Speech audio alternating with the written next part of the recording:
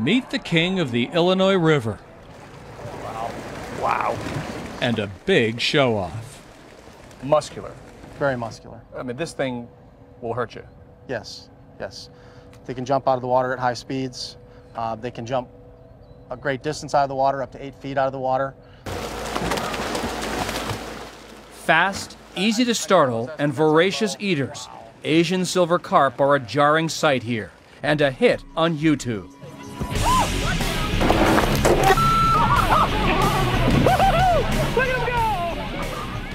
But Greg Sass, until recently with the Illinois Natural History Survey, says that in the long history of this waterway, what's also remarkable is when this fish got here, just 20 years ago.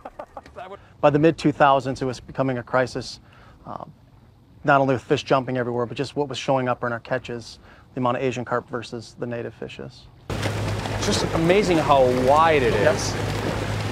With no natural predators in this stretch of the river in central Illinois, up to 9 out of 10 fish here are now Asian carp. We've seen explosive population growth. We've seen uh, a population that has doubled almost every year since 2000 here. Uh, we're fairly confident we have the highest wild densities of Asian carp anywhere in the world. Which is quite a feat considering this fish is from China. The Illinois River has been invaded.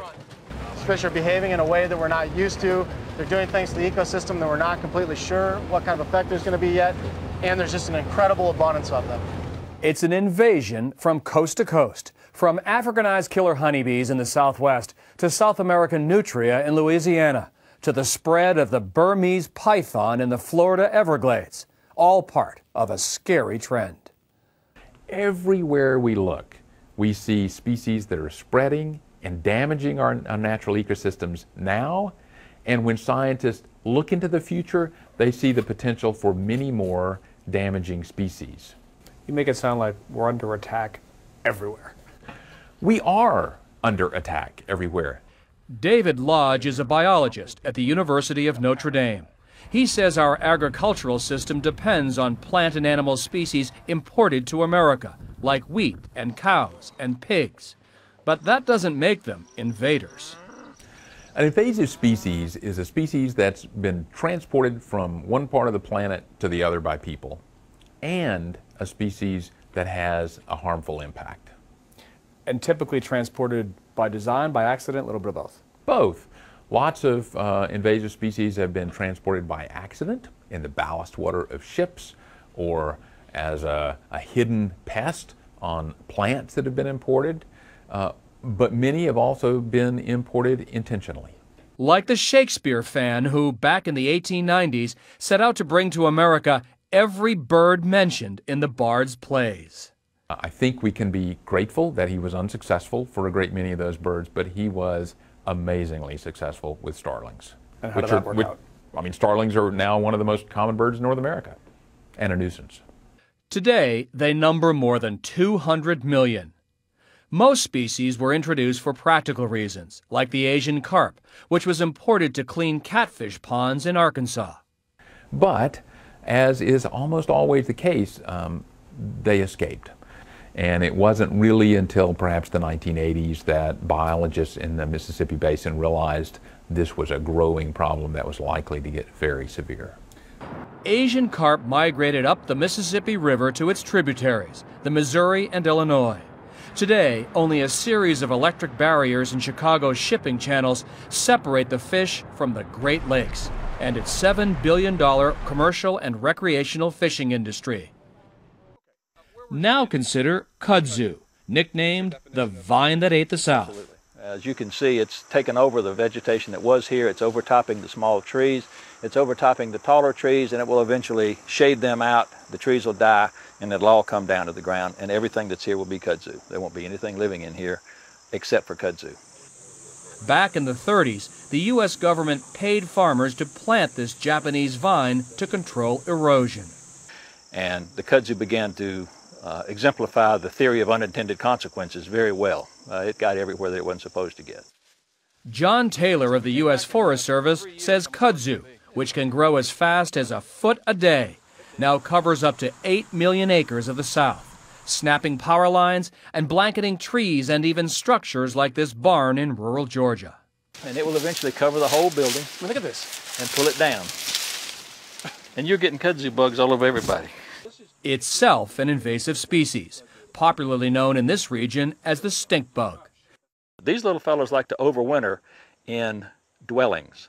And they create uh, quite a furor when people are not used to having hundreds of thousands of these little critters invade their house. And when they're disturbed, they, their defensive response is a very offensive odor. So you might go sweep them out, but you'll get a surprise in the process. Taylor says scientists do know how to eradicate kudzu.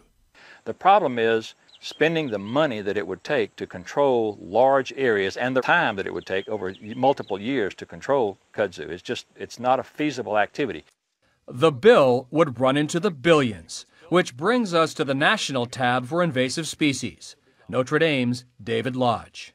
The costs to the U.S. economy uh, from invasive species generally are on the order of at least $120 billion annually costs like the $10 billion that cities will spend over the next 10 years to treat or replace the millions of ash trees caught in the path of the emerald ash borer, a bug that likely found its way from China on wooden shipping pallets. Or the tens of millions of dollars spent clearing pipes and harbors covered in trillions of zebra and quagga mussels brought to the Great Lakes on ships from Europe. As the world grows more interconnected, Lodge says the problem will only grow worse.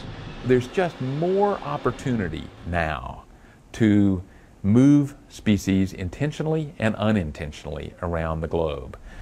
Few parts of the country have more experience with that than South Florida. You got a lot of trade, a lot of international tourism, a lot of uh, international cargo, and, uh, and you have a climate where whatever gets here lives forever. Adam Putnam is Florida's agriculture commissioner. He says that in recent years, his state has endured infestations that range from the exotic, like Burmese pythons and Gambian pouched rats, to vital threats to agriculture, like the Mediterranean fruit fly. On his radar now, the giant African land snail, which can lay 1,200 eggs a year. It was like a dream or something. It was like a mythic creature that walked across. It was about that big. And they're really slithery and juicy, and they have all kinds of fluids coming out. I, I don't like it. I, you know, for me, it's, uh, like it's disgusting.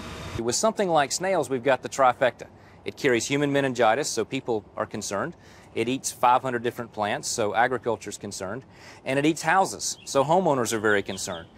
This stucco eating pest that can grow up to 8 inches long has brought together a team of 70 people, including representatives from the U.S. Department of Agriculture. Nationally, 30 federal agencies are involved in the fight against invasive species, with about $1.5 billion spent annually. Federal or state, funding is a struggle. It's difficult. Uh, uh, screenings at the airport and seaport face other pressures, pressures to look for drugs, to look for um, bombs, to look for other weapons of mass destruction. So post 9-11, you, you, see less of a focus on, on snails and citrus canker and laurel wilt disease and things like that. Unsuspecting travelers bringing pests and diseases daily. One solution for Florida, educating the public. Wherever you're coming from, leave all that stuff behind because any one of those things can carry the larva that's going to become the fly that's going to wipe out uh, a $100 billion industry in our state. Prevention is key, David Lodge argues, but also our biggest challenge. For the most part, um, in the United States, we continue to operate under um, what I would describe as an open door policy. With very few exceptions, it is legal to import alive into the United States almost any plant or animal that exists on the planet. And there are at least 1.7 million species on the planet. So when it comes to invasive species, as we say in the reporting business, this is a story with legs.